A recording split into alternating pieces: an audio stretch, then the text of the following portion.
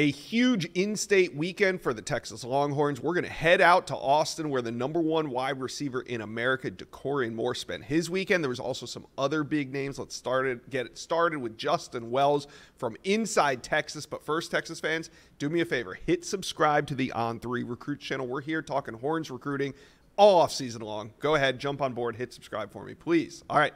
Let's bring on Justin Wells from inside Texas. Now, I want to get your thoughts on Dakorien Moore because heading in, we know he was trending to Texas. As everything's been trending in the Horns' way since he decommitted from LSU. But he took a photo over the weekend. Now, I'm Trey. Throw this photo up here, and it looks to me.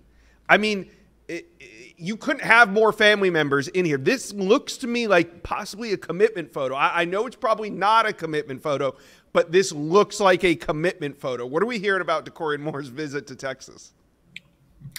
Well, as we record, Dakorien is on a flight back home right now okay. to, to, Duncanville with his mother and, and family. Um, it was a family affair.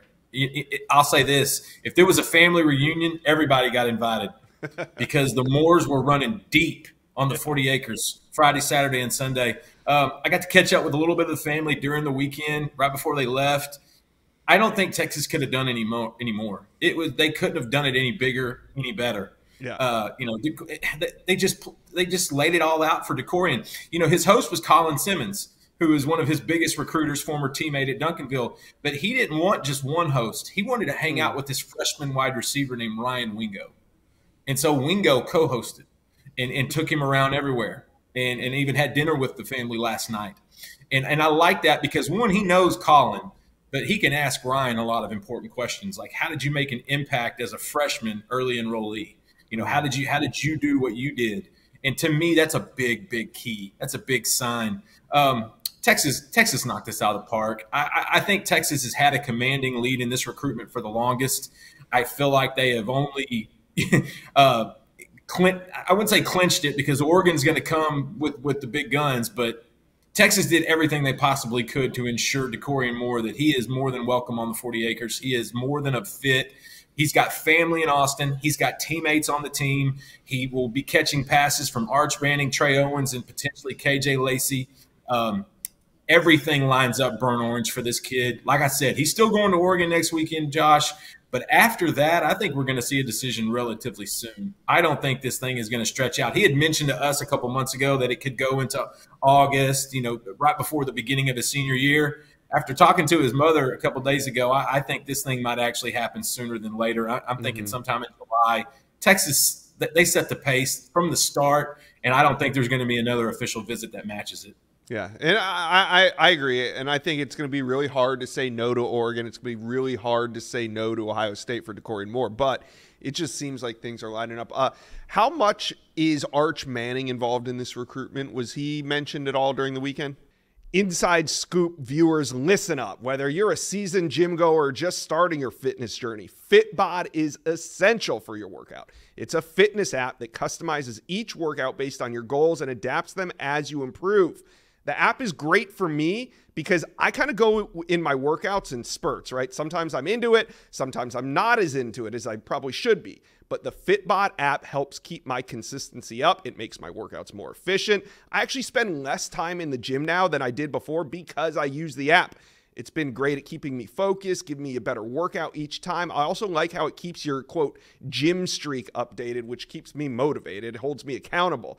Most importantly, I never stand around in the gym looking dumb anymore, wondering what I should do next. Fitbod has it all figured out. Whether you work out in a fancy gym or you're at home in your garage, Fitbod can help you get better each workout.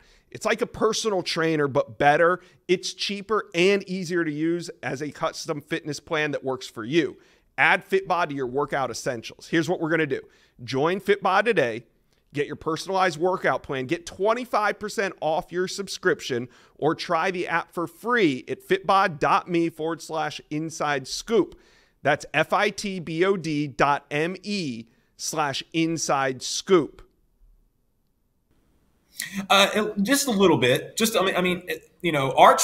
The biggest thing Arch did was was quote tweet him on inside on on Instagram you know, put out a thing because Arch knows who he wants to throw to. You know, Arch is talking to these kids. He was big with the Ryan Wingo recruitment. He was, he, and he's going to be helpful with Dakorien. Uh, you know, he I think he had late duty this weekend, and then I think he's going to be helping out with KJ Lacy next weekend. But Arch is involved simply because Arch, these are the guys he's going to throw to. He wants to get to know these guys. And from to talking to some of these recruits before, Arch Manning doesn't pressure him. He just gets to know them. He thinks, okay, if this guy's going to be on campus, I got to have a relationship with him. Might as well set the foundation now. And Arch doesn't really push these kids. He just wants to build relationships with them. He wants to talk to them. And so he, he's involved, but I wouldn't say to a, a, a high degree. I think a lot of this is is Coach Jackson, Sark, Chris Gilbert, Jeff Banks, Colin Simmons, and all the family that happened to be in Austin right down the road. I think those are the biggest factors. All right. Now let's talk about borderline five star linebacker Riley Pettijohn. Could be a five star by the time this thing's over. Uh, Riley Pettijohn, he was on campus and he's been trending to Texas, but he's been taking visits all over the place. What did you learn about Riley Pettijohn in Texas coming out of this one? Yeah, he's been thorough. And understand his dad, Duke Pettijohn, played at Syracuse. And right. so he has an idea of the recruiting process and things that he's going through. I think Riley's just being thorough. I think Riley has wanted to go to Texas since spring. I think that they've been his number one choice for a long time. But he still wants to take these trips to make sure. He's getting great advice from his dad. They've got a great staff at McKinney. And, and I think another big factor is Elijah Barnes uh, from Skyline. He jumped in. He's the other linebacker in DFW that Texas is really high on. Him and Pettijohn. Barnes already jumped in kind of out of nowhere. I think Riley's is going to be a little bit more timely. I think he'd probably put out a, a date of when he wants to make an announcement, and I think this is going to be in July. I don't think this thing is going to drag into August. A lot of these players have been telling us, hey, August, right before the beginning of my senior year. And then you talk to them after taking three or four official visits, and all of a sudden it's, man, if I know what I know, I'm going to do this next month, or I'm going to do this in a couple weeks, or I'm about to do this pretty quick. I think Riley's in that area right now, and so I, I, think Texas is still separating from the pack. I believe he's supposed to be at Texas A&M next weekend, but I also know that I don't think his mother is is going with him, and if that's not a tell and a sign, I don't know what is. All right. Now, Texas had one out of the three big three in Texas because the big three in Texas consist of Lamont Rogers, Michael Fasusi, and Ty Haywood. And right now, it looks like Fasusi maybe a lean toward Texas, Ty Haywood maybe a lean toward OU or maybe even Alabama. But Lamont Rogers, he's he's leaning out of state towards Mizzou. Uh, after this visit, though, how do you feel about Texas and Lamont Rogers? I, I feel the same because I, I know you don't turn down a kid with his upside. I mean, he's he's a big three, like you said, for a reason. Right. Huge athlete, so much upside.